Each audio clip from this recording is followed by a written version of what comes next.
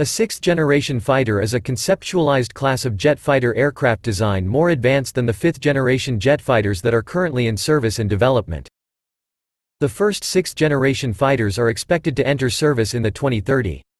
Advanced digital capabilities including high-capacity networking, AI, data fusion, cyber warfare, D2D and battlefield command, control and communications, C3 capabilities. Optionally manned, with the same airframe capable of conducting piloted, remote-controlled or onboard AI-controlled missions.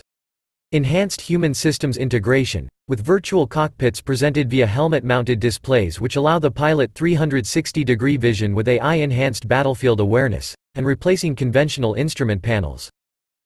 Advanced stealth airframes and avionics. Advanced variable cycle engines able to cruise economically but still deliver high thrust when required.